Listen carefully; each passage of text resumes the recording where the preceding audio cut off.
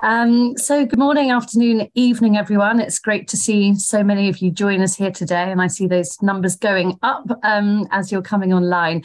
Um, my name's Gemma Davies. I'm a senior research fellow at the Humanitarian Policy Group, um, ODI, and I lead our portfolio of work on protection. Today, we're delighted to be co hosting this event with the Centre for Civilians in Conflict, and we'll be discussing community engagement with armed actors, strengthening protection, prevention, and response. Here at HPG, we're just beginning a new two year research project, uh, considering the opportunities, challenges, risks of more complementary approaches across peace, humanitarian, and protection responses to support communities in their engagement with armed actors for their self protection. And why this focus? Um, as has been referred to in many of the events this week, civilians are not just passive actors in conflict, but use their agency, including to engage with, armed actors for self protection. Community engagement with armed actors t- often takes place significantly before any externally supported um, mediation or negotiation processes. And the interaction between civilian communities and armed actors is complex, at times ambiguous, and changes through time. So there's growing recognition and momentum on the need for a shift in approaches to protection, including approaches to prevention of threats and in considering how civilian engagement strategies can be supported or at the very least not undermined. Peace actors often engage with threats, including through supporting engagement, dialogue, and negotiation with armed actors, though not necessarily through the lens of protection. And when considering approaches to prevention, there's a growing recognition and willingness to build a community of practice between humanitarian protection and peace actors, and to consider opportunities to bridge approaches between the sets of actors. And by having greater analysis of community engagement armed actors and positive strategies for self protection, the implications um, for humanitarian protection and peace actors will be a central focus of this research. So, with that in mind, um, we're delighted to convene this dialogue between a panel of a- experts across humanitarian protection and peace action who will speak to the practical experience of their organisations when supporting community engagement strategies.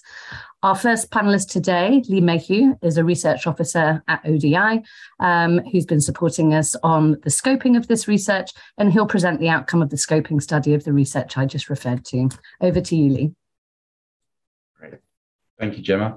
Um, as part of the inception phase of the two year project that Gemma was just referring to, um, we carried out a scoping exercise uh, which reviewed the existing evidence and carried out expert consultations. So, what did we find? So, firstly, in terms of looking at the role civilians play, civilians adapt their strategies of self protection based on the type of armed actor that they're facing. Strategies adopted by civilians include flight, opposition, accommodation, engagement, and collaboration. They'll also leverage the presence of multiple armed actors to improve their security. Civilian perceptions of protection may differ to those of international actors. Whilst the latter may focus on the standards defined by international law and access to rights, we found that customary law, local values, norms can matter at times more than formal rights. It's also important to recognize that civilians are not a homogenous ca- uh, category. A range of local actors, including traditional, religious, and business leaders, elders, and community based organisations often lead engagement on behalf of their respective community. Understanding who is leading and present during negotiations is important, as these factors will determine what concerns are prioritised. Moving on to what factors help to determine um, the engagement process between civilians and armed actors. Firstly, although external support um, can improve the effectiveness of community engagement, it is important to recognise that there are certain conditions that will influence the parameters of engagement. This can include the motivation behind the use of violence, group ideology, and the level of concern that an armed actor has for its legitimacy. All these will determine the boundaries of engagement. With this in mind, community engagement with armed actors is not, um, is not static. It is influenced by community dynamic, uh, sorry, excuse me, it's influenced by conflict dynamics, which can have both positive and negative effects. For example, firm territorial control and a change in leadership can result in a more conducive engagement process. The level of internal community cohesion and capacity can also be a key factor in effective engagement for self protection. Strong customary organisation, a high level of internal unity, and pre-existing respected local in, uh, institutions and leadership can all improve the effectiveness of community engagement with armed actors. Also, the distinction between civilian and armed actors isn't always clear. Pre-existing relationships based on kinship, family, and political interest often exist between the two sets of actors. This may offer civilians the advantage of trust over external actors when engaging with armed actors. However, these factors are not uniform. We found that while in some cases close bonds proved effective, in others it was the position of neutrality. And finally, focusing on what opportunities exist for, for external actors, while there is this growing acknowledgement of the role of conflict affected communities in securing their own protection, plus this increased consideration and piloting by humanitarian protection and peace actors in supporting community engagement with armed actors, a number of these practices are relatively new um, and undocumented. There is also inertia to a more systemic uh, shift within the humanitarian sector. Concerns over neutrality, tensions between international principles and frameworks and local norms and customs, engagement with proscribed armed groups, and top down approaches all remain obstacles to a more community driven engagement response. A deeper understanding of the risks and protection needs, plus at times a greater degree of trust with armed actors, mean that civilians are often better placed than external actors. However, this does not mean that there is no role for external actors to play. Local strategies rarely provide the degree of protection uh, needs required by civilians. A complementary approach is required, strengthening local capacities for self protection while at the same time generating international political will to a more systemically engage uh, in prevention of threats is needed key takeaway from the research is that whilst there is a role for humanitarian protection and peace actors to, put, to play, any strategy should be community led.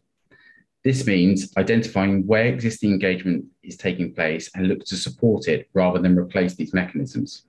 And finally, of importance to our research, we've identified that currently there is little to no research exploring the opportunities and challenges for greater synergies between humanitarian protection and peace actors in relation to the community engagement for self protection. As such, this will be the core focus of our research. Thank you. Great. thanks very much, Lee. Um, and I think it's really important to, there's some really interesting points there on the fluidity of community armed actor relations and the grey area between what are civilians and armed actors need, you know, really pointing to the need for a sort of in-depth localized conflict analysis uh, prior to considering any engagement by by um, external actors. Um, and the need for greater synergies, which takes us um, straight on to introducing our next panelist. So, Wendy MacClinchy um, is the UN Director of Centre for Civilians in Conflict. Um, and Wendy will then hand over to Clement Gbede. Sorry if I didn't pronounce that very well, Clement, uh, representing one of Civic's partners from the West Africa Network for Peacebuilding. Clement will offer an operational perspective. Um, and Wendy will tell us about Civic's Civil Society Toolkit, uh, the guidance it gives and how it's being used by Civics and its partners. Clement will offer an operational perspective on its use in Niger and the Sahel. So, Wendy, over to you. Good morning and good afternoon, everyone. It's an absolute pleasure to be with you all today. Um, my name is Wendy MacClinchy. I'm the director of Civic's UN program. Um, Civic is an uh, organization which is devoted to the protection of civilians in armed conflict, uh, both operationally with um, research uh, and engagement with armed actors and with communities, uh, and also at the policy level as well. Um, today, I wanted to just uh, give you a quick um, overview of the first of all, the value of civil society as a starting point, and then a, and then a couple of words on the new civil society toolkit that Civic has just uh, recently launched. I mean, first, we've seen time and again as um, as colleagues uh, have said in the opening, how valuable uh, an active role of civil society is in shaping both protection policies and practice. You know, from one side, bearing witness to the experience of civilians and calling for specific protection needs from armed actors, to exercising oversight of both military and security actors. We've seen how constructive and meaningful and especially not extractive engagement between armed actors and civil society can improve protection practices and outcomes. So, in Ukraine, for example, local CSOs have played a crucial role in not just providing a humanitarian response, but in filling the gaps and addressing the needs on protection of civilians, uh, in which local authorities, defense and security forces, and other actors weren't able to cover uh, on their own.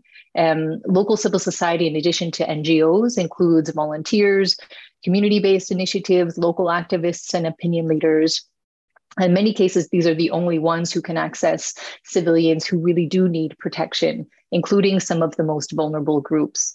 Um, they can help those with disability, the elderly, um, and others who for whom access is a, a challenge. Um, this can be in help with evacuation, in ensuring food security, in supplying medicines or providing psychosocial assistance. We've seen in the Ukraine um, context that civil society has shown a very quick and decisive and flexible response. And this was really possible due to the existing direct communications between people uh, in the affected communities and their trust uh, towards civil society actors with, who really do have quite a profound uh, local knowledge of needs and access points and continuous on the ground presence and access to hard to reach communities, including those under direct attack. So, on the toolkit we've developed, um, it provides concrete guidance to communities and stakeholders and was piloted in Ukraine and Niger and is now being piloted in Indonesia, the UK, and in Estonia. Uh, it's a resource for civil society actors which draws from practical experience, both sources in international law and best practice. The goal is really to provide these uh, civil society and local actors from different sectors, whether it's humanitarian, human rights, uh, peace building, and local organizations, really with a common language and a common basis to work together to diagnose needs and come together for a, a shared set of actions. Quite often, we see that states are keen to distinguish themselves, whether or not they often whether or not they comply with international humanitarian law. But we know from experience that um, compliance isn't always the most effective incentive uh, for really changing practice. And really, by comparing and exchanging best practice um, and addressing some of the most critical protection needs, uh, we can see that there's a that there are other opportunities to engage. So we, the framework, the toolkit uh, includes a, an evaluation framework which comprises several categories um, and subcategories that that um, civil society actors can use to evaluate the level of engagement and performance um, of security actors. These include four categories. The first is on national commitment and enabling environment. So these have to do with the laws and policies and other political areas. Um, do they engage with international human rights bodies? Are there independent oversight of security institutions? Are there national laws that allow for civic um, and civilian participation in public policy making, including in security policy? Um, the second is preventing and mitigating harm. So this has to do with planning and operations. What are the standards for the rules of engagement uh, in the use of force by security actors? Is there specific guidance on targeting, on assessing civilian objects? Is civilian harm mitigation built into military training modules? Do security forces engage communities uh, on their own protection concerns? And do they apply a do no harm approach? The third area is civilian harm response. This has to do with reporting, investigations, tracking, and recording. Do they use civilian harm tracking? Are there systems for public oversight and transparency of civilian harm? Are there systems and processes to account for the dead, injured, and missing? Um, and there are there credible uh, investigations into instances of harm? The final area is around amends and reparations, uh, which has to do with harm that results from lawful or unlawful conduct including expressions of condolence. So, for example, are there public acknowledgement uh, on of harm? Are there policies which govern victim-centered condolence payments? And are there claims? For, are there is there a claims process for reparations for the victims of IHL violations and and access to information on remedies? As well as criminal uh, criminal systems to hold perpetrators accountable for international crimes. Um, so, for example, our partners uh, WANEP um, will speak um, next on some of the implications of this um, of, of, this practice. Um, there, they chose in Niger. They chose to focus on the legal and policy frameworks for Niger, while in Indonesia, they're looking at community engagement and civil military relations. Um, in Papua, before the Russian invasion, our Ukraine team had worked with the Ukrainian Red Cross to assess opportunities for improving community protection. The second part of the toolkit is an advocacy guide, which really takes um, actors through each stage of this collective advocacy strategy, but and allows it to be tailored to the unique needs of protection agendas. Um, so we know that uh, no tool is going to solve uh, uh, and overturn all of the invisible and explicit restrictions placed on civil society that can prevent local organizations from playing these roles. But one theme that has come up again and again is that each restrictive environment in each restrictive environment in which we've worked uh, and our partners have is that civil society is much more powerful um, when they work together for common outcomes and because tools are only as good as their implementation uh, I'd like to turn the floor over to Clement Koko uh, Gbede, uh, the National Coordinator for the West Africa Network for Peacebuilding, uh, WANEP, uh, which is focused on protection, peacebuilding, and human rights uh, in Niger. Over to you, Clement. Okay, merci bien. Thank okay, merci you very much, Wendy.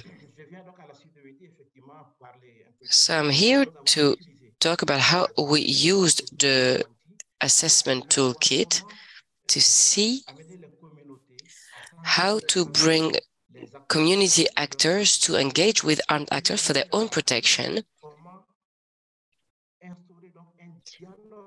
And this has led us to see how we could start a dialogue between the two uh, uh stakeholders and to see which strategies and factors have uh, allowed or prevented this protection. So we want to see the engagement of community and of armed actors to strengthen the outcomes of protection. And I will talk about how to support the actors of um, protection and of peace building. So we are in a context where uh, sa safety concerns are growing violence against civilians. So in this fragile context, it contributes to the intensification of the conflicts and of insecurity and violence towards civilians. We also have an intensification of the safety response of armed grouped activism that have created many incidents. So how to engage the community for their protection. First and foremost, we have to say that the only reason why the communities and the armed groups need to uh, be committed in order to have a fight a good response is based on the uh, the terrible consequences of the actions of these armed groups. It may have a huge impact and dire consequences for the local communities. And consequently, it's important to have um, a dialogue between the armed groups and the community. So it's it's crucial in order to have uh, our activities there. So first and foremost, we need to have a dialogue so we can get a safe access to these communities and to these peoples who are living on the same area as those armed forces. And we also understand that it's thanks to this dialogue that we can make sure that can, uh, everyone can understand. And we need to need to ensure and guarantee the safety of these communities. And is with dialogue that we can promote the uh, humanitarian law and the international law and all the um, legal tools. So the so once again, the communities are the core of the activities. So let's move on to the strategies and the uh, the many obstacles. So,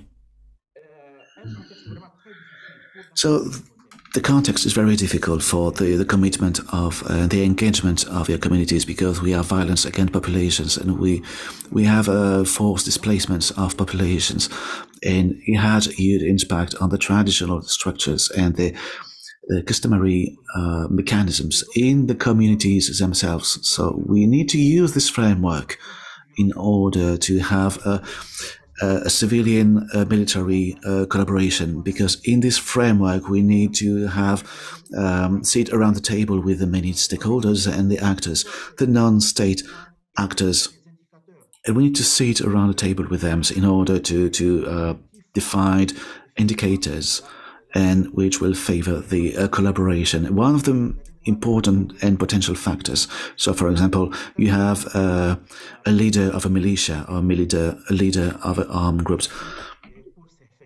So no one, no one's being sued for everything they've done. So they're not held accountable. So, and this is why it's really becoming very difficult to have a collaboration in Niger, for example, and even in the Sahel region. So most of the time we have uh, communities with their own structures, and this is one of the potential factors in order to have uh, uh, an efficient protection. So, so we have to work on prevention and mitigation of risks, and this is why, with thanks to uh, the collaboration with civilians, we wanted to, to draft a, an action plan and we also wanted to have a advocacy guidebook.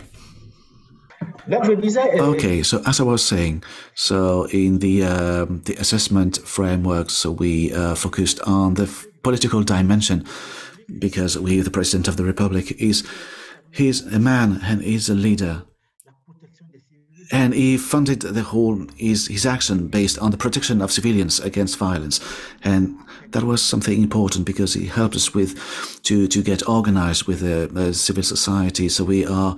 Uh, creating an advocacy that we want to have in the parliament so we can have uh, an uh, to draft and to vote a law for the protection of civilians. And also with the institutions and with the military so we have a commitment and and we have an, an influence. But uh, unfortunately, there's still some, an element of distrust of the civil society uh, against these um, these armed groups and the military, because unfortunately the uh, the the the army is not held uh, liable for everything that may happen or things it may do against the the populations. So so these are the many factors in order to have an efficient protection of uh, civilians. And this is why we need to take some time to draft a common agreement, a common action plan with the many stakeholders. So, and furthermore, it's important to see how the uh, protection stakeholders are need uh, to create dialogue with the people at risk and to make sure that all these people at risk can participate fully to these activities. So we need to define their needs. Do we need to plan and we need to uh, design uh, protection activities and to do a follow up on these activities and to have a, a correct assessment of their uh, the outcomes. So what's important is so we need to make sure that uh, all the, the bad things that may have happened previously should not happen ever again. So this is why we have a pretty efficient framework in Niger, and we uh, we see that all things are improving, and and before the law uh, is voted and comes into force, in order to protect uh, the civilians in our country. So we'd like to thank you for your attention. Many thanks, Clement, and for your patience with uh, with having your connectivity in and out there. Um, but but thanks so much for for both of your interventions, Wendy and Clement. I think it's really interesting to see sort of not only the framework um, that that Civic's been working with partners with, but also how that's been playing out in practice. And I think you know your points on the need for trust, for dialogue, uh, and and communities at the core with full participation um, in order to m- promote protection outcomes is is absolutely key. Um, our next panelist is Mike Jobbins, who is the Global Affairs and Partnerships Lead at Search for Common Ground, an international peacebuilding NGO. So, maybe from a peace perspective, Mike, you can let us know um, what mechanisms you use for community um, self protection and, and what external actors need to consider when working with such mechanisms. Yeah, thanks a lot, Gemma, and it's really wonderful uh, to be here with you and and um, and everyone uh, on the call. Uh, for those who don't know, uh, Search for Common Ground, we're one of the world's largest uh, peace building organizations. We have about 60 offices across the Americas, Europe, Africa, the Middle East, and Asia I think we work in all of the countries uh, that are I, I, see being introduced in the chat, and I'd love to to keep connected uh, with all of you. Uh, and for my colleagues around the world too, um, as well. Uh, at our at the core of our work, uh, we're fundamentally a global but decentralized organization that's quite rooted in the local communities that we serve, and, and with a mission of supporting healthy, safe, and just societies. And that's led us over the the four decades uh, that we've been in, existence to increasingly work with protection actors, with humanitarian actors, uh, as well as uh, the community, civil society, faith groups, governments, to see how uh, to better uh, reduce the threat of violence and improve social cohesion uh, in all of those those places. And uh, as we design our interventions, Gemma, you know, you alluded to our some of our toolkit, but we also keep that grounded in um, the philosophy that you can't start with what you don't have. And so when we're designing a program to prevent violence or, or improve protection outcomes, we always begin with an uh, appreciative inquiry approach and, and looking at what there is within each country and, and what are the assets, what's working well um, already as civilians are navigating uh, incredibly complex, challenging, and threatening uh, security um, environments. Um, to your question, Gemma, about sort of interventions and, and where we see a, a real evidence base um, around what works in um, supporting civilian engagement uh, with armed actors, I'd like to point to, to five uh, types of interventions that I think there's a pretty broad and strong evidence base for from the peace building community. Uh, the first um, is the creation of peace committees. Many of you will be fa- uh, familiar with um, this track record. There's uh, pros and cons in different deployments, but it's one of the best known um, and, and, most common. I'd, I'd, point, for example, in the Central African Republic, a country uh, that has perhaps a thousand, uh, two thousand villages. Um, there's a thousand peace committees uh, out of the 2,000 villages. It's been widely adopted, uh, first and foremost, by the Central African people, um, 80% of, of those committees receive no international support.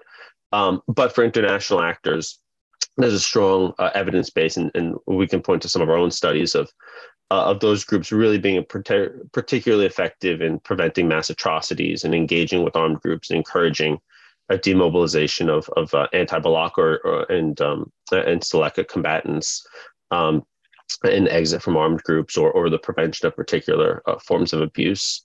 Uh, the second intervention I'd, I'd, point to would be early warning and early response systems. Uh, we support those in, in South Sudan, Nigeria, DRC, Mali, and a number of other places. Um, and what's common across all of those is community based, uh, multi stakeholder efforts that have the ability uh, to signal and bring in the appropriate authorities and the appropriate protection actors uh, to raise the alarm when threats are emerging. Uh, the third, I'd highlight media interventions. Um, we know we produce uh, radio, uh, we use WhatsApp, we use television, we use uh, new uh, technologies to engage armed actors and to sensitize as well as uh, shape attitudes towards civilians. We know, for example, from defectors that three quarters of Boko Haram combatants in Niger, uh, from interviewing defectors, listen to our radio programs. And there's a tremendous ability to shape how armed groups behave at an individual and group level. I'd allude, uh, I think, similar to Civic and some of the things that Wendy um, was highlighting, we support um, security force training. We have seen at least a strong evidence base on uh, behavioral change work with police, with um, soldiers, often at the point of deployment. In addition to some of the more classroom style IHL trainings, in Congo, we've seen a 20% increase in um, uh, public safety uh, where there's been that kind of in situ training um, for deployed units, uh, deployed FARDC units in that context. And then finally, I'd point to conflict scans, sort of the just in time light touch analysis to inform not only protection actors, but also WASH, uh, shelter, um, food security, and particularly in the context of like IDP returns or internationally facilitated returns on emerging protection risks that go beyond um, sort of the, the desktop uh, conflict assessments that that are often you know 60 pages 100 pages and six months too late um, to really get that just in time uh, information on the changing context uh, to the um, uh, to the frontline uh, humanitarian workers and protection actors government agents. Gemma, on your question about the recommendations I would and what we've learned I'd, I'd highlight three C's capa- capabilities continuity and collaboration. On the capabilities as more and more humanitarian organizations look at the HDP nexus, I'd really question all of us to think about how we take the P, the peace building element seriously within that nexus. Um, whether or not uh, you know that is, is its own field of knowledge is one we've been very involved in. And I'd encourage humanitarian groups to think about how they build partnerships uh, with local actors, with international actors, what kind of capabilities they want in house as they engage on the peace, uh, the peace side of things, because it's a context where it's incredibly easy to do harm in, in this space. Um, and, and, usually that kind of capability needs to go beyond just sort of one piece advisor or one sort of consultant um, to, to really build out that in-house capability or the strategic partnerships. The second on continuity, it's very rare that we've seen one approach a work in a tremendously complex environment, just a peace committee approach, or just security force training, and thinking about how you bring that sort of wraparound uh, support of analysis, um, some sort of what we call key people and more people, some direct engagements, some support to explicit dialogue efforts and negotiations, some uh, mass engagement, um, usually for in our case through through media um, or, or, other kinds of mass gatherings, um, in a way that takes a more holistic approach um, to uh, reducing the threat of, of violence and harm against civilians. And then finally, on collaboration, this is a space where there's a tremendous amount of opportunity to learn uh, and to learn across sectors, uh, across organizations working in a single uh, geographic area. And so I'd point people uh, to uh, the Connexus platform. For those who aren't familiar, it's one that we've begun using quite a lot. It's uh, cnxus.org. I'll drop it in the chat but it's a tremendous opportunity for both local uh, actors around the world but also humanitarians, peace building, and, and, and, development practitioners to share learning material, to participate in webinars, and to, to sort of cross fertilize and cross pollinate um, so that we can all work a little bit together, better together, in order to respond to sort of the holistic nature of the threats that communities uh, uh, face and the single lived experience of, of an individual, of a woman living uh, or a man living in conflict zone to bring that holistic response to, to, sort of what is one human life and one human um, experience of uh, of both actual harm as well as uh, as well as the threat of harm that we're uh, all looking to to prevent. So thank you so much. I'll drop some links in the chat. I'd love to keep connected to all of you. Uh, I'm Mike Jobbins on Twitter, Mike Jobbins on LinkedIn, um, and I'll drop my uh, email in the chat. But but thanks so much for having me, Gemma. Thanks, Mike. Um, and also big shout out to Mike, who is calling in from DC at an awful time in the morning. So um, real commitment there. Thank you so much. Love to start my morning with you. um, but I think it's really important, and, and this is exactly where some of the sort of conversations and building a community of practice that you know we're we're looking to work together with with practitioners and, and operational partners. But is it, that recognition that there is so much happening in these um, in the peace space that can be learned from the in the humanitarian space and vice versa? Um, so i think a really good um, call to action on um, taking the p um, part seriously. Um, and and yeah and i think it's a really good reminder on that sort of you know you can't start with what we don't have um, and that everything needs to be grounded um, in what's going on in the community what's working what's not and there's not a sort of one size fits all approach. It has to start from from there. And i think this is where there's some real opportunities for the humanitarian community to to learn from uh, from what the peace community have been doing for for many years as have some parts of the humanitarian community but it's also a little bit more of a growing um, practice i think on that sort of prevention and addressing as you say real threats. Um, to now pass over to um, our next panelist, Kiran Kothari from Save the Children, who heads up the Civ, uh, Civil Military Relations and Access Unit. So, Kieran, um, you've recently carried out research in Colombia and South Sudan along with NRC. Um, so, it'd be great if you could tell us a bit about the findings, what it means for Save the Children's and a broader set of humanitarian and, and other actors' approaches to negotiations and supporting communities in those negotiations. Over to you. Thanks, Gemma, and thanks uh, to all my colleagues uh, speaking before. It's really it's really uh, helpful to hear the reflections from everybody uh, kind of on this. I'll just take a couple of seconds to to sort of speak about how we're, how we're structured and where where we kind of started from. Uh, so I work with a unit of of expert colleagues who do who help us do research and and think about our field practice. And we also support our, our field colleagues with, with kind of humanitarian negotiations, with the negotiations that we carry out.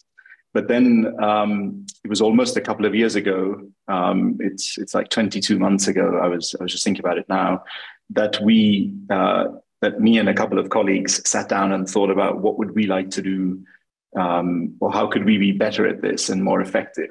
And we were coming at it from two angles. One was, you know, the fact that we'd done a lot of work on community child protection, and then uh, we were also looking at how could we be more locally led in in crisis and uh, we have a, a, lot of frontline staff.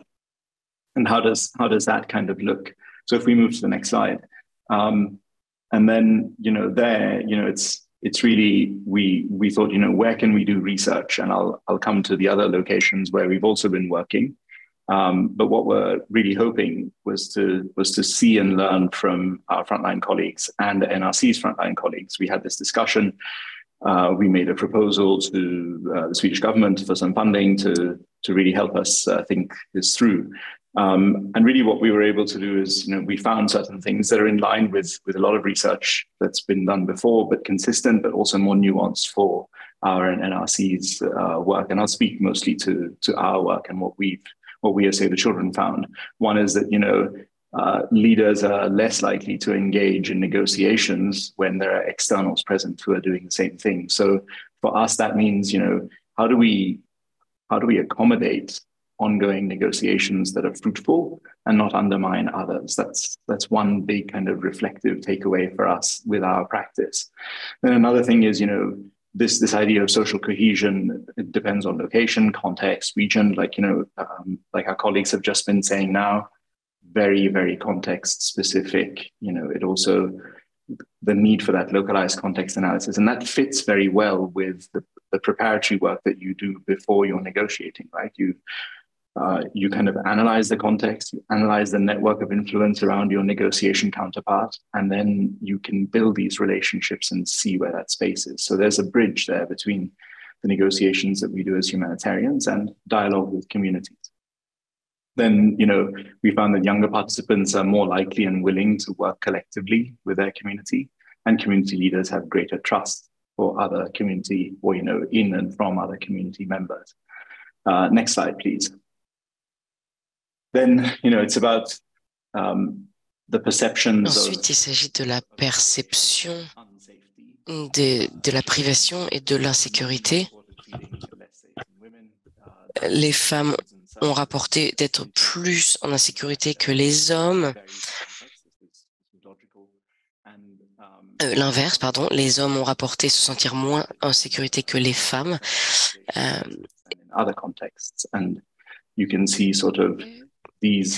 donc vous voyez un petit peu euh, ce qui uh, ce puzzle. Like, you know, how do you feel safe?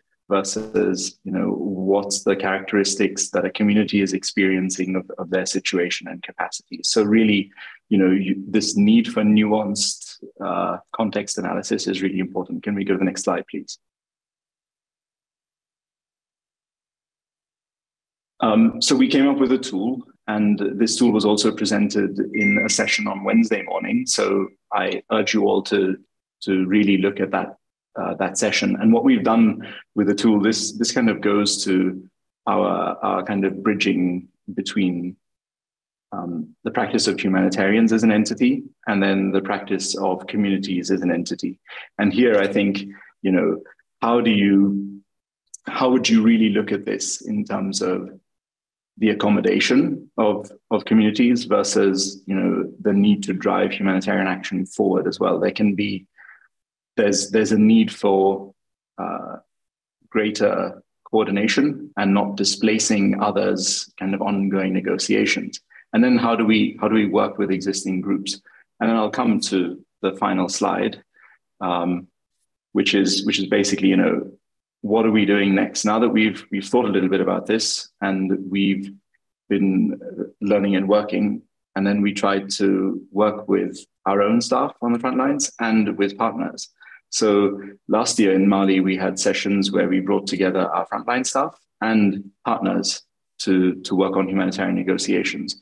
And what we found is that practically you do need separate spaces to, to kind of work and skill up and practice those skills. So for your organization and its mandate, and then also for um, other organizations. But then it's also important to come together and share this analysis. And that's that was a really hard practical lesson that we learned. It was it was really difficult in that session, but then we found that we built really good relationships, and it really deepens our trust and understanding. Next thing that we found is, you know, we are we as Save the Children, we focus on education and protection, including child protection and healthcare. And then how do we build this forward? So really, in each of those negotiations, we've we uh, we often build or or set up or work with existing structures in those communities, and this is where we where we kind of talk about um, education dialogue, so safe schools uh, guidelines implementation. We work with safe schools committees made up of teachers and some students, and how do we how do we build that forward? With our community child protection systems, we're working a lot with those structures. And then in healthcare, you know, you're working with um, the communities and also with kind of healthcare actors. So how are we looking at pediatric healthcare in emergencies and how can we learn and make sure that we're recognizing the goal of, of communities in that?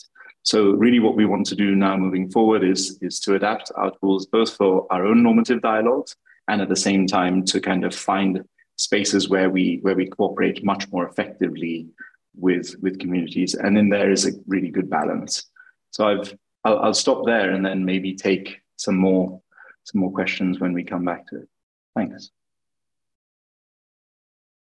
Thanks very much, Kieran. Um, and I think really interesting findings of your uh, of of the research that you carried out there, and um, again, sort of hearing on ensuring interventions don't undermine community capacity uh, uh, you know that that need for local level nuanced analysis and really learning from existing dialogue i think these are sort of quite common themes that are coming out um, in our event today, but have also been coming out um, across the week. And I think a really interesting point on who is best placed and willing to engage in dialogue. And this point that you found on sort of interesting to note that sort of youths were at times better placed or more willing. Um, I think you know these are sort of the the very granular analysis that's. Uh, that's needed in order to um, consider where external actors can engage um, in in negotiation and mediation. Um, before we go to our next uh, panelist, I'd like to open the floor um, to encourage the audience, not verbally, um, but to send in any relevant questions in the chat.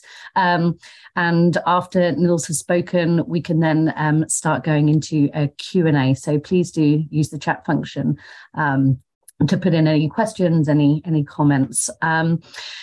So, to go to our next panelist, uh, Nils Carstensen, who is the founder and co director of Local to Global Protection um, and has worked in humanitarian crisis response um, since the 1980s. Um, Nils, having worked across the humanitarian conflict transformation, transitions to peace type initiatives for a number of years, what do you think are the most important considerations for external actors to consider when supporting community led approaches, including engagement with armed actors to strengthen protection outcomes?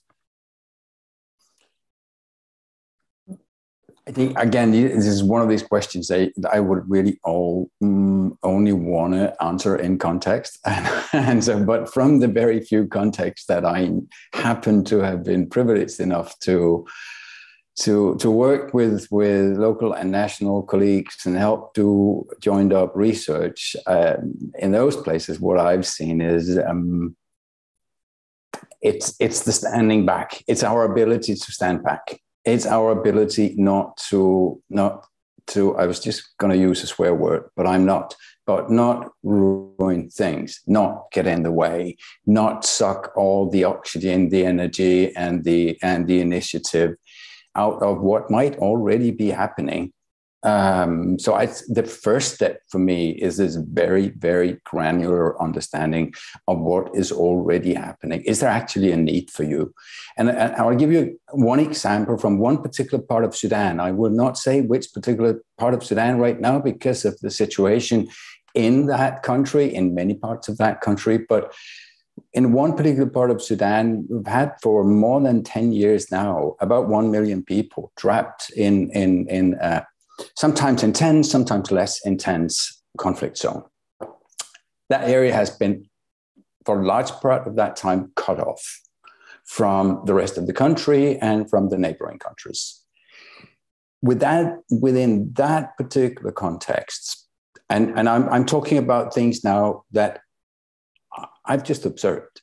This is all activities done by local conflict transformation and, and, and peacemakers with smart, sensitive, and very limited, really, uh, support from outside actors who understood the need for them to take a back seat, but be there with those needed resources, with that extra knowledge, etc., etc., networking, advocacy, etc. But what we found in that particular area a, a couple of years ago was interesting also into your discussion here, I think, because the activities of these local peace actors, I mean, a lot of it builds on networks and relationships that crisscross ethnic and political divides. Some of these con- connects are very personal, very individual. Um, and some of them go back 20 years, 30 years, 40 years, old schoolmates, people you worked with in the same organization, but now happen to be on side. So it's a very, it's, it's a very sort of granular and personal and multifaceted network of individuals on both sides of the front line that have managed to time and time again negotiate access routes for humanitarian assistance where humanitarian assistance would otherwise simply not come. And here I'm uh, quoting verbatim one of the community leaders. Another, I think, hugely important thing we saw when we started digging into the nitty gritty of it that this peace and conflict transformation from the very beginning had a very clear focus on trying to reestablish the traditional trade and exchange patterns across the front line, but at a very, very local level, almost in hiding. And, and they've succeeded and have sustained over six, seven, eight years enough of these so called sort of sometimes moving, sometimes cancelled, and then reopened peace markets to enable a situation where you, when you visit this area today, you're seeing goods there that were not there during a previous conflict. Absolutely not there. So basic commodities like fuel, um, salt, foodstuff, etc., makes it way its way through these peace markets, which is in the best interest of everybody on both sides of the front line. So it pays into some commercial interest, it pays into the interests of the population. Not only does it mean there's an influx of essential goods, there is an outflux of livelihoods, which is being sold out, which is the traditional trading pattern in the area. So we could only guesstimate, but within just a year, about at least $20 million worth of goods were being exchanged. Now, that's huge into a humanitarian context where people were uh, very, very poorly off and where the humanitarian access was limited. So the humanitarian assistance was limited. From a protection point of view, this also means that there was opening up channels for people to move so people could access services across the front line, not for combatants, of course. So just a whole set of things that follows from, from this work done by local peacemakers, leaders, and, and in a manner so that it has been sustained. Every market has its own committee that brings together traders and officials from both sides. And of course, this could not happen unless armed actors who are the ones who hold sort of the day, the sway in the area on the day, were informed and somehow consented it. That didn't mean that the government consented to it. But, but local armed groups, opposition groups, but also lo- local armed groups, militia groups that usually would be loyal to the government, saw that it was in their best interest to keep this going.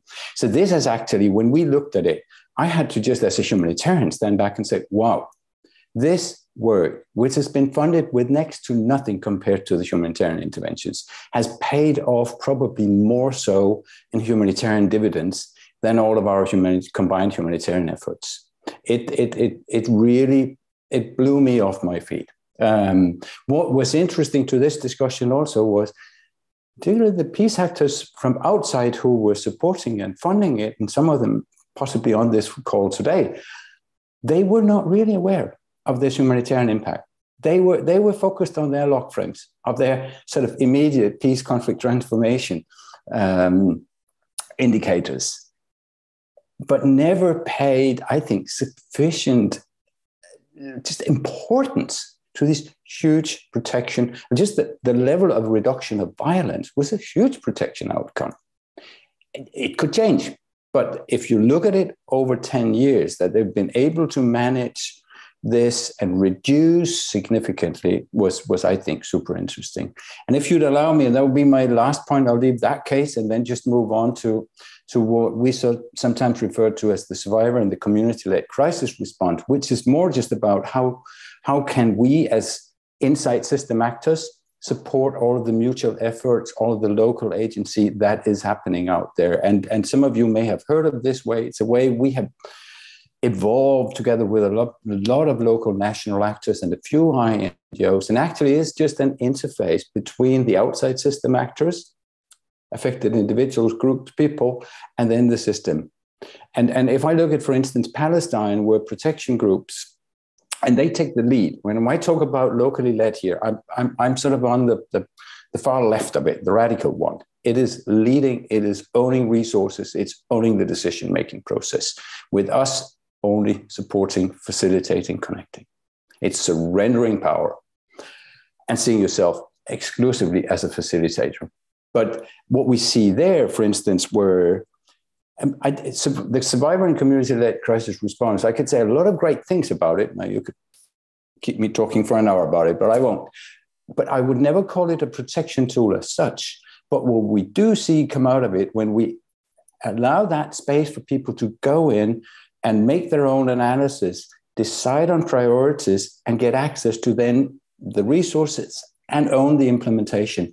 There's a lot of really interesting protection outcomes that that that comes with it. In some places, in others less so, but it is a way of working that delivers to protection outcomes that probably would be difficult to get from an outside sort of intervention. Some of them in Palestine, just a few off the top of of my my my my head would be um, reduction in settler violence, documentation, and and and reducing settler violence. It would be um, increasing the chances for girls or girls around um, puberty to continue to go to school. It was the awareness and referrals around domestic violence, gender based violence within their communities. It was about securing the continued use of agricultural land that always would have been lost to, to Israeli settlers. And then during COVID, it was re- it was really interesting to see where these groups already existed and already had that sort of kind of agency as just an extension of what they did.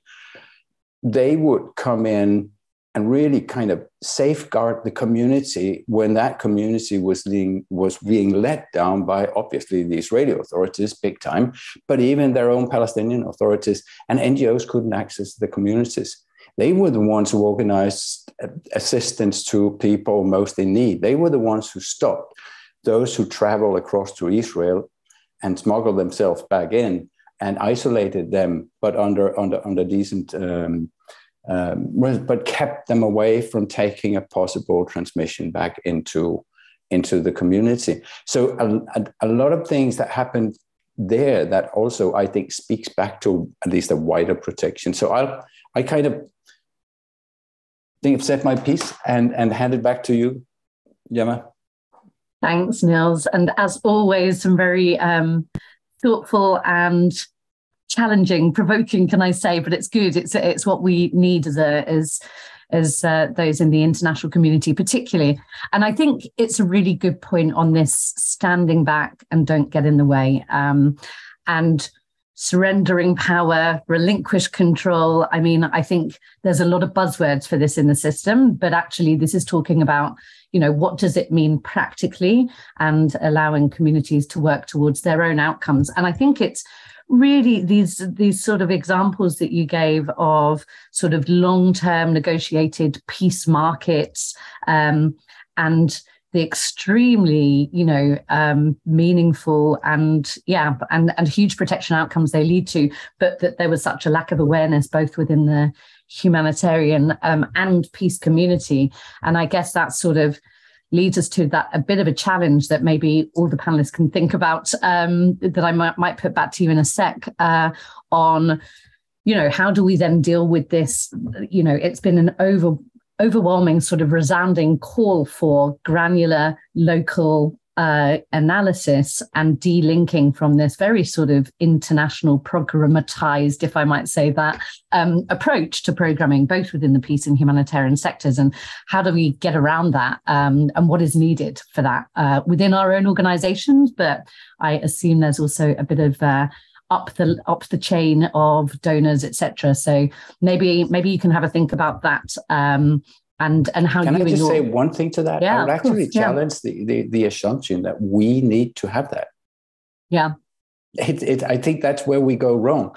We, we to a certain extent need to have it in the terms of not do do less harm, etc., etc. But we should never think we can own a conflict sensitivity and analysis that is as up to speed as the one that sits on the shoulders of the persons who are living the crisis because this changes day and by the minute sometimes so so i think we should somehow be careful to make this assumption that we need this i think was it mike or, or lee that no i think it was mike the point about this I mean, I think usually obsolete 60 page conflict analysis done by outsiders who, by the end of it, might understand a trifle of what really goes on in a country.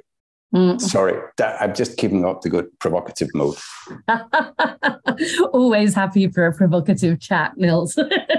and I think we have a good uh, a, a, good sort of um, set of panelists here that are very happy to engage in that.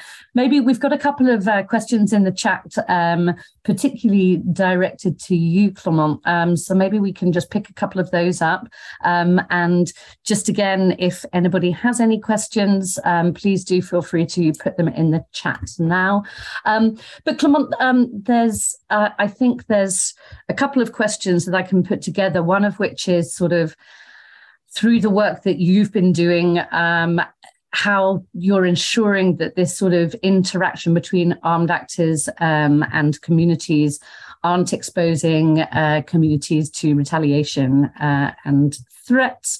Um, and also, perhaps you can answer a, a sort of a, additional question on whether your work involves areas where non-state armed actors are um, and and what the implications are for that for communities to um, to yeah to ensure that they can um, have their own um, yeah that they can have a dialogue where they don't have retaliation from from state. So over to you.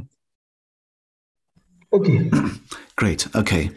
So we, we must uh, highlight the difficulties that we have at the very beginning is that we couldn't have a, mis, um, misunderstanding uh, of the communities and the role of the communities and the armed uh, groups. We have two kinds of uh, groups. We have the state-sponsored uh, armed groups and non-state armed groups. So, and you see the communications, the communities are caught uh, between these two groups because they don't really understand they really don't understand the, the role uh, of these uh, armed groups because state-sponsored uh, armed groups are supposed to protect the communities.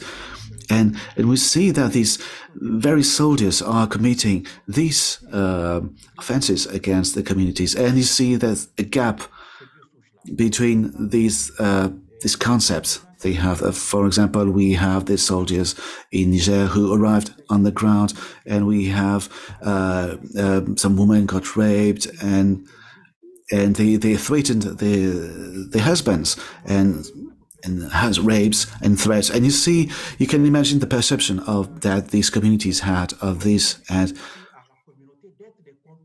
And and sometimes the uh, state, uh, the government often said that communities were accomplices to these uh, non-state uh, armed uh, groups. And so we're working with communities. And so we uh, established two communities, two com- committees we call peace committees. And these committees have members from various uh, um, social classes, from various members of the community. And we wanted to have a, a platform so the, the communities and the, the government, the military can talk about safety and security. And this group and this peace committee is really a community-based um, mechanism, a re- resilience mechanism, so we can fight against this uh, perception. We, we can actually have uh, strategies in order to strengthen this collaboration because we need to uh, so we need to work on this uh, with what we do with civic c'est pas eux souvent qui reçoivent des formations pour la protection des It's not only that we we we, we train soldiers uh, about uh, how to, to to talk to interact with the communities, but now we have uh, high-ranking officers that need to be trained, and we started to work with them. We started to work with the people on the ground, and we also need to, to tell them how to to teach them how to ensure the protection of uh, communities can we achieve good, some good results? And this is what we did in niger. And we try to uh, establish some indicators in order to um, assess the uh, contribution. And we was able to assess the hurdles. And we be able to work with the armed groups so we can have a permanent activities. And so these activities really give us enough strength to move forward. And as we said, we worked. So we worked with the Ministry of Youth, Ministry of Defense, Ministry of uh, Women's Conditions, and with the, uh, the civil society, so we can work on the protection. And so, thanks to Civic and all the elements uh, based on the protection of uh, civil society. We've been able to to to draft this uh, advocacy uh, guidebook, so we can actually have a, a, count on the engagement of the communities. So we can have a legal framework which can be used uh, to protect these communities. So you know, in the region, and just two days ago we had uh, shootings and people got killed. And um, this is uh, wrong for the community. So we need to, to, to, to engage with the communities so they can be resilient to face all the threats and all the risks. I don't know if you uh, be able to answer correctly to your questions. No, that's great. Thanks so much, Clement. And I think it really um, you know it grounds it in how you're dealing with uh, with some of these really difficult uh, challenges and dilemmas. Perhaps um, mike um, do you want to talk a little bit about sort of some of the challenges with acceptance of government vis-a-vis non-state armed groups particularly where you're working uh, and supporting communities in in areas where obviously there's a, a presence of both and some dilemmas and challenges there yeah, absolutely. Um, and, and, thanks for the question, Gemma, and those who, who raised in the chat. I mean, it's an, an enormous uh, uh, element to to think through for for search, um, not only for our, ourselves, but all all the the people we support and, and the communities we support. Um, both in terms of uh, legal, uh, the legal framework that the colleague from MINUSCA highlighted, MINUSMA highlighted, as well as the risk of harm and, and reprisals in our experience, both from the, the host country government, but in many cases also from international governments, uh, the U.S. government, the um, UN, and and, uh, um, and some of the other systems um, that that also issue their own sort of terror um, declarations and things. Um, we would, I would say, our experience varies extra is extraordinarily different from place to place, um, and often uh, a much more helpful uh, conversation where we try to drive it is, is not sort of dialogue or not dialogue. Um, our name is Search for Common Ground. We have a particular opinion on whether or not dialogue is useful, um, but it's usually about which group um, is involved and about what. and dividing between sort of access negotiations, you know, humanitarian access negotiations from other um, you know, other kinds of political solutions and so forth.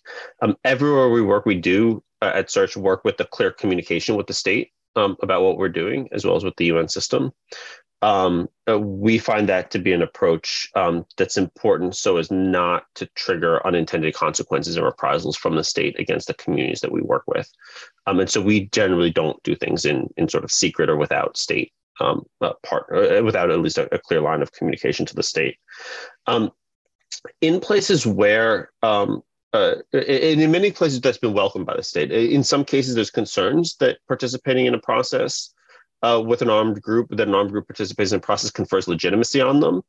Um, in other cases, um, both national governments and the international community have appreciated the kinds of NGO-led, civil society-led efforts we lead, explicitly because it doesn't confer legitimacy. Um, because we're just, you know, at the end of the day, we, we're not a government, um, and, and, therefore don't confer recognition um, over control of a particular piece of territory. In some, in some ways, these community-based um, efforts can be either useful precursors or parallels uh, to whatever more formal processes uh, governments might be uh, be envisioning, and in some ways can be quite useful, um, especially particularly because they're not they're not legitimate and they don't bring um, the force of recognition.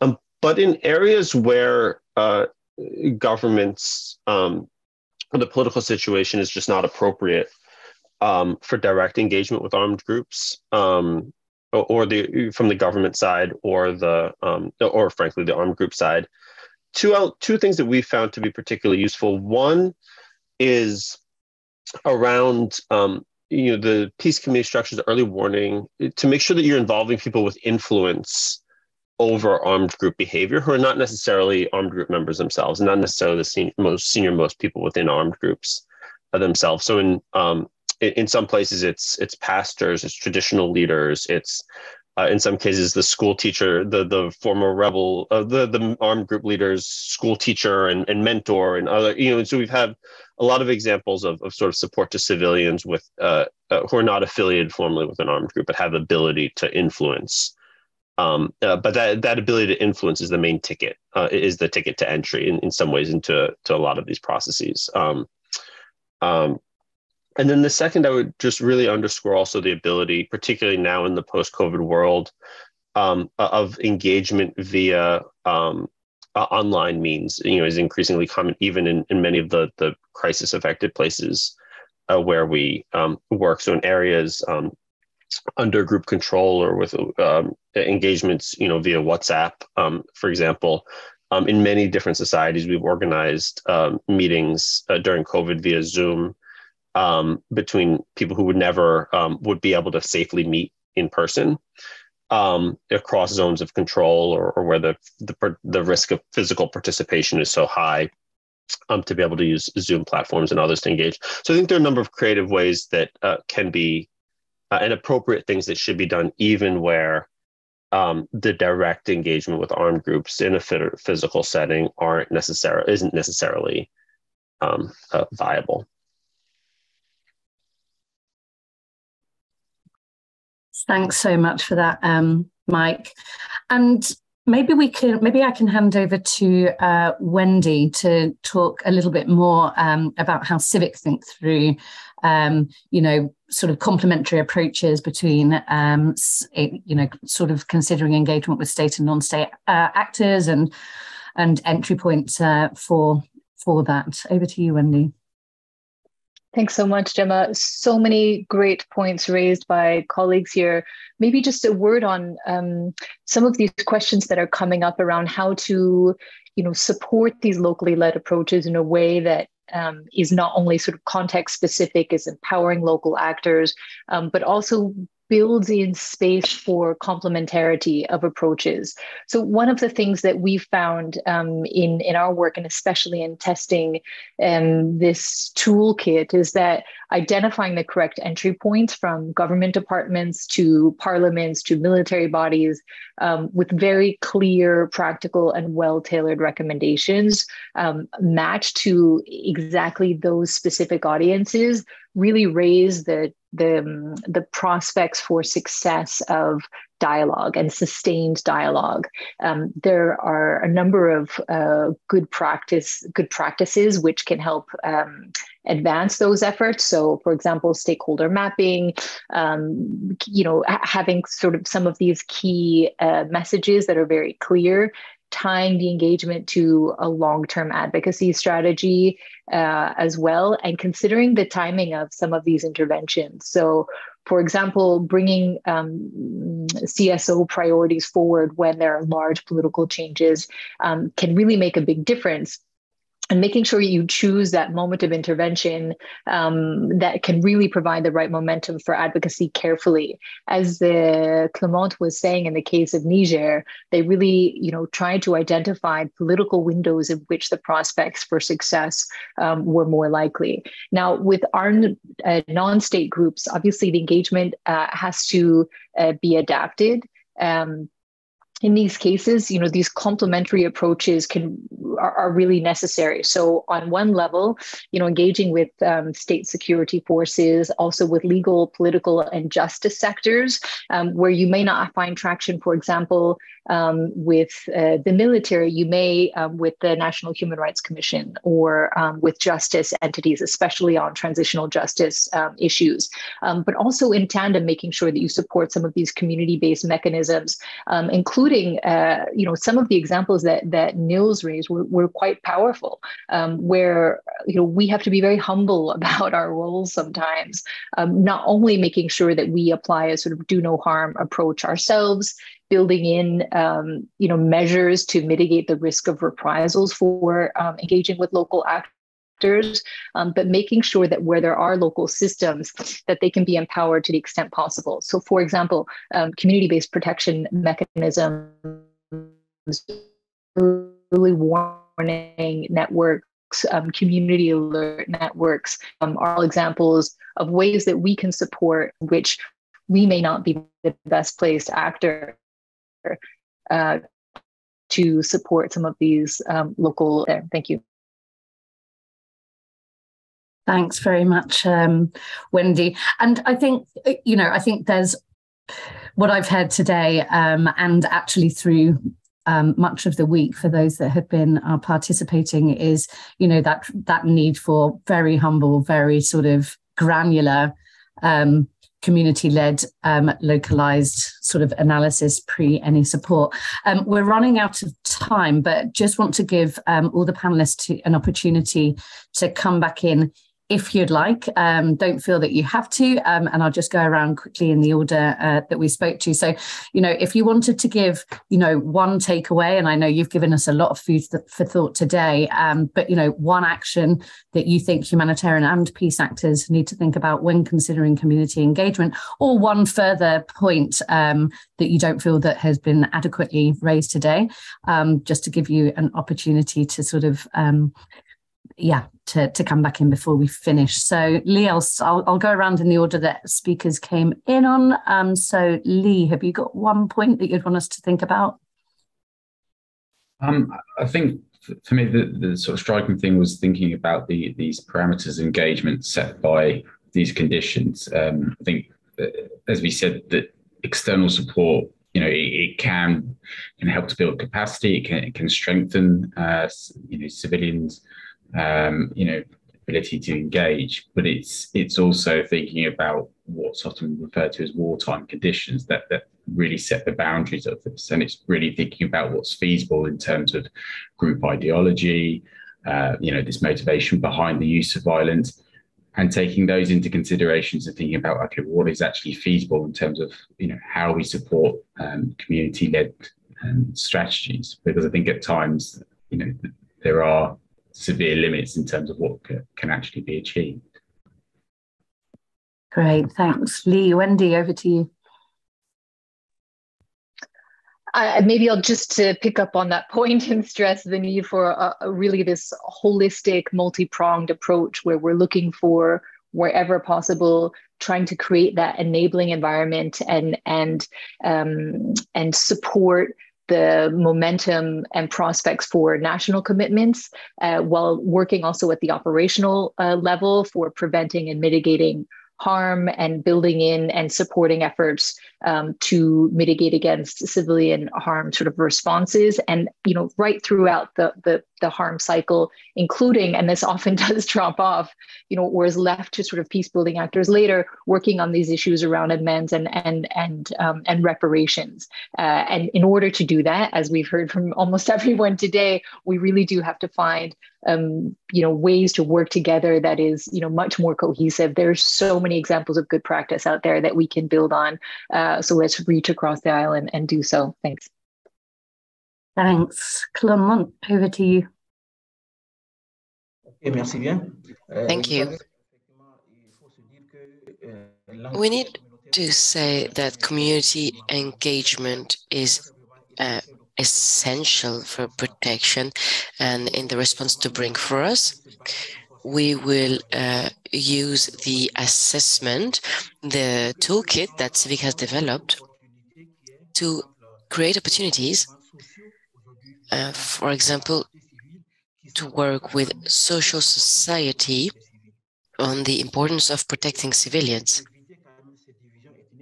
we want to avoid ethnic division uh, in the workplace. And we also want to cover uh, communication matters. It's something that is very important that we want to develop. We want to work on advocacy as well for um, laws. And it's something we really have at heart. We are in a um, chaotic situation so each time when we hear there are dead people, it, it, really hurts. So we need to have a legal text that protects civilians no matter the circumstance. Thank you very much.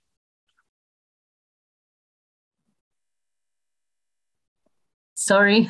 Thanks so much, Mike. Over to you.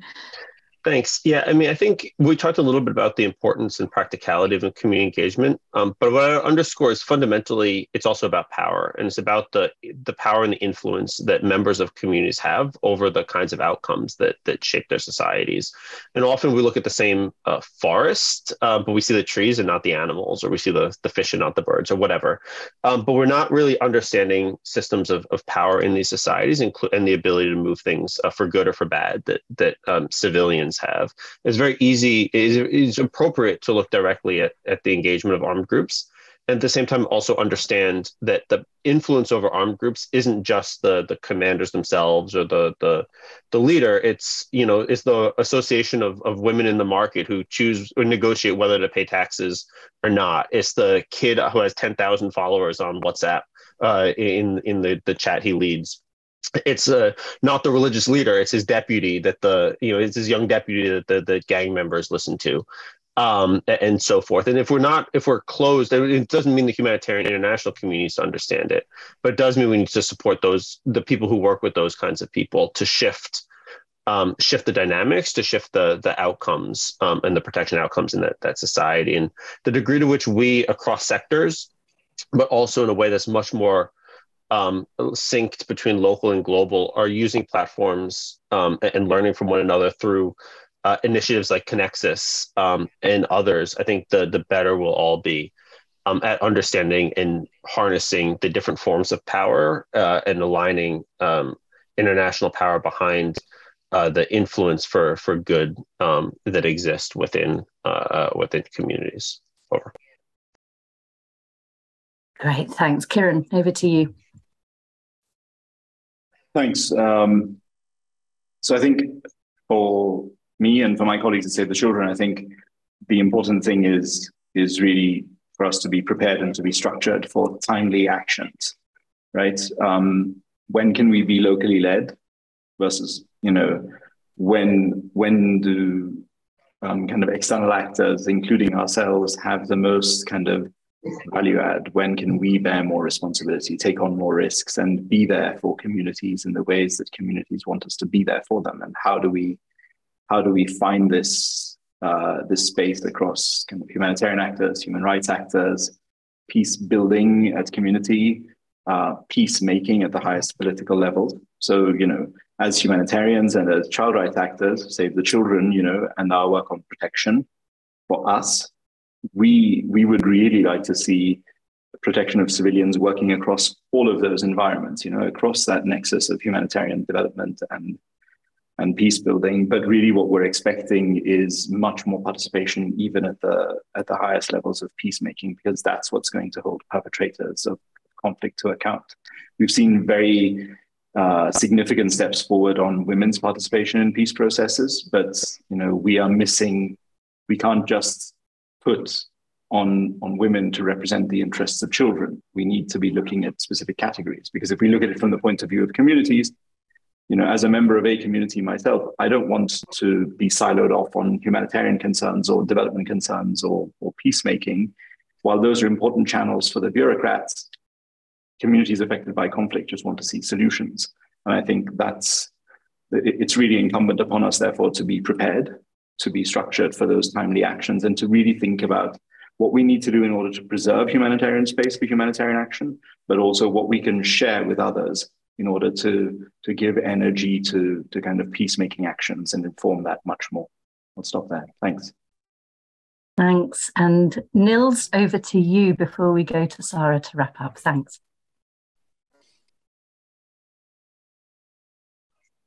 I did, I think an, an, an, important point here is is this thing about yes the the relationship between what we do and what we do particularly as externals. And I, I think the whole a lot of it comes down to just do we need to continue to use these very extractive tools where we go in and extract analysis? Or should we just see wouldn't we learn just as much by enabling people to make their own analysis their own assessments their own priority settings and then just listen in together with local national partners, etc. But just, I think this sort of, we have this super bad, I think, habit in, I think probably both in the humanitarian and in the peace community and development to a certain extent too, of doing extractive assessments.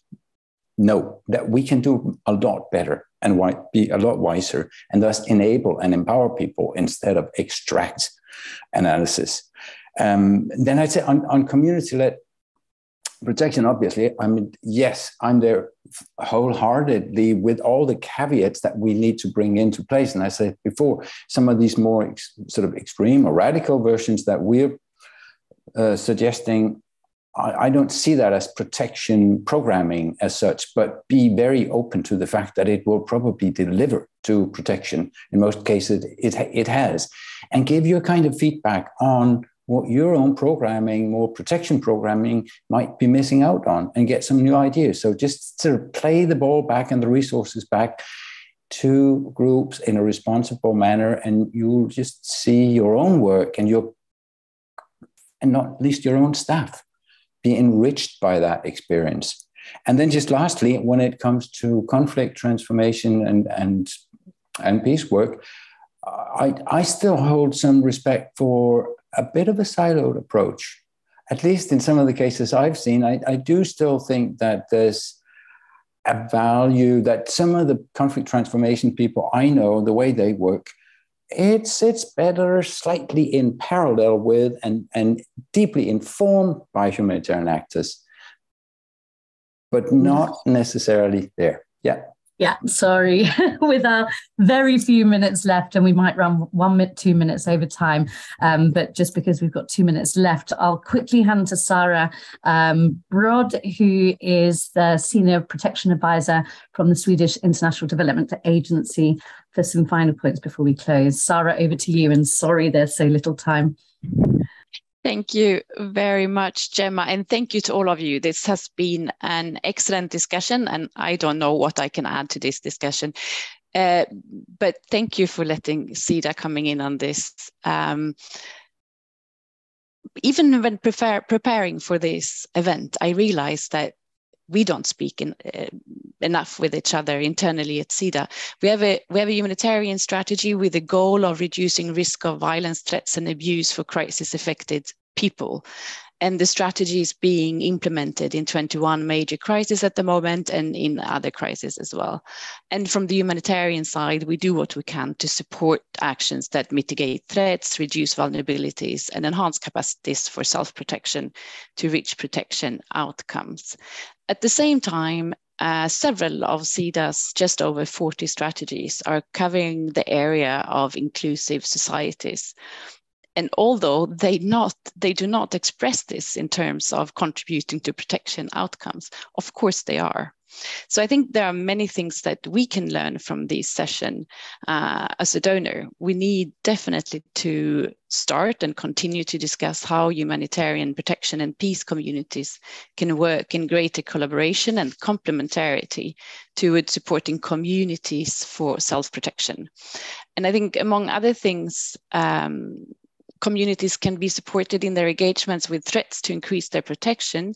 And as we have heard today, a people-centered and inclusive approach is needed. And that really puts the communities and their protection at the heart of discussion and engagement. I think we need to learn from our partners and enable uh, them to work in a way that puts people at the center. And this can include keeping in mind that communities need to be involved when defining protection. Who decides what protection is or when you feel safe?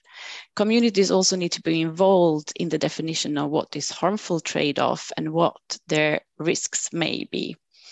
And I think at SIDA and in line with Sweden's humanitarian strategy through SIDA, we are testing and developing several tools to support our partners in this important task. We are test we have flexible funding, uh, multi-year humanitarian funding, and currently we are exploring ways of localizing the humanitarian response. But we also work with partners um, on how to meaningfully measure protection outcomes and moving away from focusing only at, at how many people have been reached. But we need to do more to encourage joint contextualized analysis with communities and to help development, peace, and humanitarian partners to have a common understanding that can support coordination and synergies when possible. I think that shorter and long-term investments should complement each other to enhance sustainability, trust, and relationship building to make these activities possible. And I, can just finish by underlying that we need to better learn and understand when external actors can help um, and when involvement can do uh, more harm than good through listening and empowering local actors and communities. That came out very clearly today. Um, I think we can also aim at better understanding of how our pr protection interventions can contribute to peace positive factors beyond making sure that they are not aggravating conflicts. Thank you very much for an excellent session. Thanks so much, Sarah. And just to say, I know we're um, out of time. I'm not even going to attempt to wrap up what's been such a rich conversation. Um, thanks to everyone for all the messages on the chat. And thank you so much to all of our panelists for a really interesting um, and you know, um, challenging and uh, in-depth uh, discussion. There's been a lot in the chat, um, but please feel free to reach out to us. Um, to to take forward that conversation. Um, but thanks again um, and invite you all. Our Twitter handle is at HPGODI, um, but feel free to get in contact. Have a good day.